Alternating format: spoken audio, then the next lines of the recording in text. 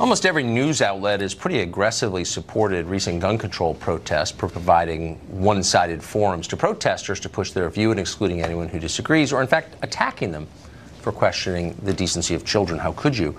But on Monday afternoon, NBC went further than that. One of the reporters outright urged his viewers to go online and sign a pledge to vote for anti gun candidates. It happened. Here's the tape.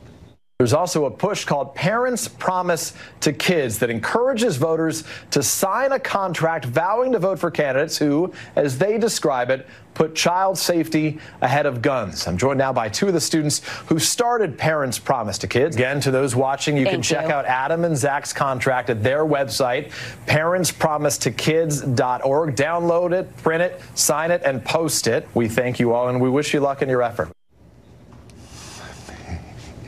How long before they're like sending out directions to Planned Parenthood? Probably not long. Well, supposedly marches against guns are about speaking truth to power, even though they enjoy massive support from virtually everyone in power lawmakers, school administrators, the media, the business community, basically every billionaire on the planet.